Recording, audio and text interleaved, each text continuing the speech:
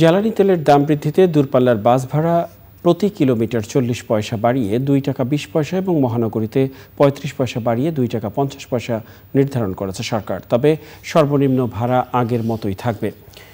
বর্ধিত ভাড়া আদায় করলে কঠিন ব্যবস্থা নেবে বিআরটিএ। রোববার থেকে ভাড়া কার্যকর করা কার্যকরে রাস্তায় থাকবে ভ্রাম্যমাণ আদালত।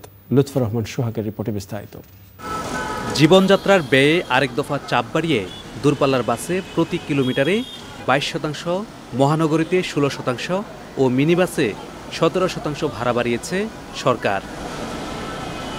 ডিজেলের দাম বিয়াল্লিশ শতাংশ বাড়ার পর শনিবার রাস্তায় গণপরিবহন অনেকটা কমে যায়। পরে ভাড়া বাড়াতে বিকালে সরকারের সঙ্গে দর কষাকষিতে বসেন পরিবহন মালিকরা।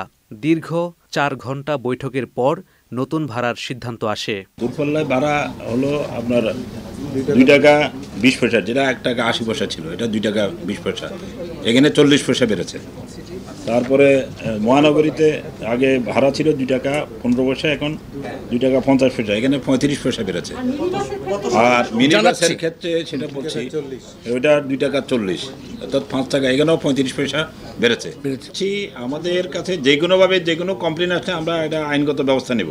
আর আমাদের ম্যাজিস্ট্রেট যেটা আছে আমাদের যে ম্যাজিস্ট্রেট আছে ঢাকা চট্টগ্রামে তারা তো মোবাইল কোর্ট করবেই। এর বাইরেও আমাদের জেলা প্রশাসকদেরকে আমরা অনুরোধ করব যাতে তাদের যে মানে জেলা প্রশাসনের যে নির্বাহী ম্যাজিস্ট্রেটরা আছে তারাও ভাড়া মনিটরিং করবে যাতে অতিরিক্ত ভাড়া কেউ আদায় করতে না পারে। ভাড়া কার্যকরে বিআরটিএ এর দক্ষতা নিয়ে প্রশ্ন তোলেন সাংবাদিকরা। আপনারা কিন্তু দেখেছেন যে মোবাইল কোর্ট প্রতিনিয়ত সপ্তাহের না, আমরা না আমরা আপনাদের আমাদের ম্যাজিস্ট্রেটের কাজ মানে কার্যক্রম তো দেখতে হবে আপনাদের। দশটা পদ আছে দশটা পদের মধ্যে সাত আটজন সবসময় থাকে। এই সাত আটজন সবসময় সপ্তাহের ছয়টা দিন রাস্তায় থাকে। আর যে কেউ যে কোনো সময় যে কোনো অভিযোগ করতে পারে অতিরিক্ত ভাড়া আদায়ের ক্ষেত্রে। ওয়েবিল যেটা বলছেন এটা অবৈধ জিনিস। পরিবহন মালিকরা বলছেন নিয়ম নীতি শতভাগ কার্যকর না হলেও তারা বাস মালিকদের বোঝানোর চেষ্টা করছেন। অনেক সময় কিছু কিছু অনিয়ম হয়। আমরা সব যে পারছি মহানগরীতে তা না। পুরোপুরি আমরা পারি নাই, কোথাও কোথাও আমরা করতে পারি নাই। এবং মালিক সমিতি থেকে নির্দেশ দিলে যে সবাই পালন করবে, বাংলাদেশে এই ধরনের কোনো সেক্টর এখন পর্যন্ত সেই সংস্কৃতি চালু হয় নাই। যেখানে যারা মারা নাই, তাদের বিরুদ্ধে তাদের গাড়ি ডাম্পিং করা হয়েছে, তাদের বিরুদ্ধে জরিমানা করা হয়েছে, এবং কি রোড পারমিট ক্যান্সেলের জন্য অনুরোধ করা হয়েছে।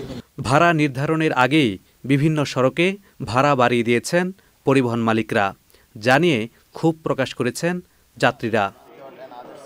Lutfor Rahman Sohag channel I Dhaka.